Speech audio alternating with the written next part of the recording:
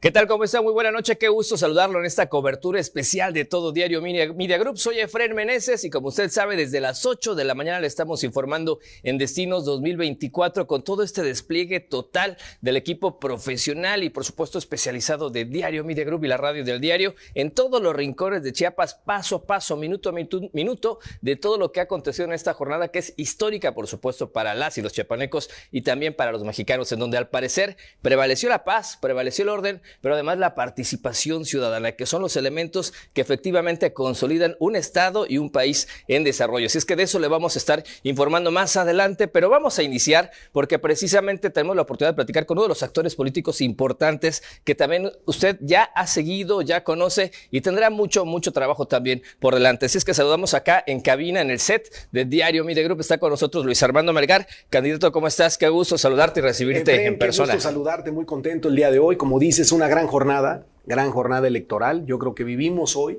contra todas las expectativas. había mucha inquietud, todo el mundo estaba muy nervioso de cómo íbamos a a administrar la violencia en el Estado. Afortunadamente fue un proceso en paz, un proceso que yo no te diría que, no hubo incidencias, pero sin embargo prevaleció la paz, prevaleció la tranquilidad, pero sobre todo la participación ciudadana. Es lo que platicábamos en este instante, veíamos eh, los reportes a lo largo de todo el día en todas las casillas electorales, muchísima gente votando. Los resultados, ¿cómo ven los resultados, Luis Armando Melgar? Pues mira, primero, un gusto enorme por la, la doctora Sheinbaum, porque confirmó su, su victoria en Chiapas por un margen amplísimo y sin lugar a dudas por Lalo Ramírez, por nuestro gobernador Eduardo Ramírez, que sin lugar a dudas fue contundente en su triunfo, lo acaba de decir ahorita en su conferencia de prensa, es un espacio de paz, de tranquilidad, pero sobre todo de propuestas, ya entrar a trabajar, a construir lo que se tiene que hacer.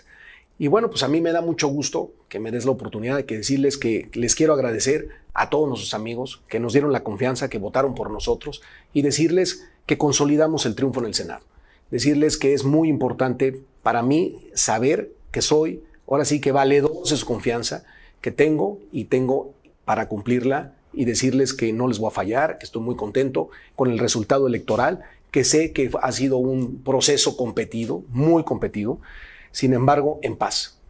Totalmente de acuerdo con usted. Sin duda, hemos tenido la oportunidad de platicar previamente cuáles eran los proyectos fundamentales que va a impulsar Luis Armando Melgar desde el Senado, ya con una experiencia anterior también en este proceso, con eh, tantas cosas y propuestas hechas, pero hay temas torásicos, la juventud, el medio ambiente, el desarrollo económico. La juventud, el medio ambiente, el desarrollo económico, muchos temas que ya nos alcanzaron, como es el caso del cambio climático.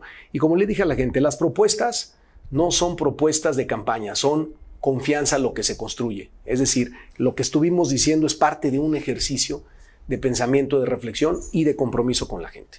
Así que me siento muy contento de que voy a ser su senador de mayoría, que ganamos, le ganamos a Morena, le ganamos a, al Frente, al Partido Revolucionario, al PRD y al PAN juntos.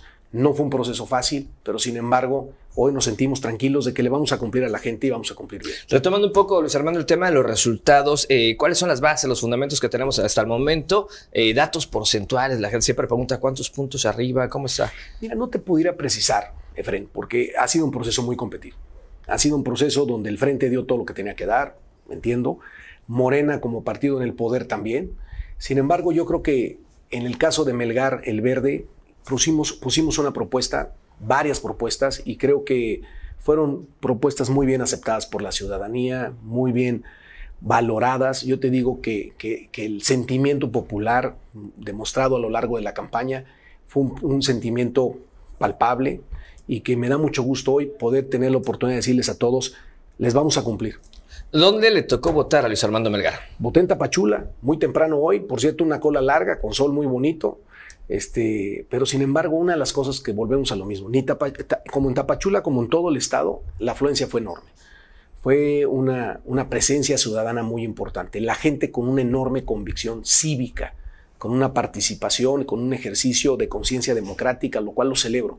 Porque Chiapas rompe con eso sus cadenas en el sentido de decir, no iba a haber paz para poder ejercer el voto y sí la hubo. Sí, era un temor constante que había en estos días, ¿no? Todas las casillas, no había una casilla que no hubiera tenido una presencia importante.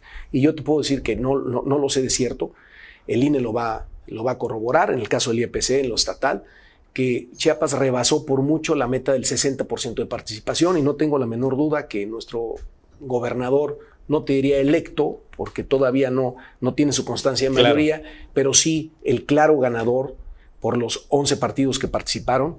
Este, sin lugar a dudas, Lalo es hoy nuestro gobernador y con esto demostramos un gran ejercicio democrático, una gran jornada cívica.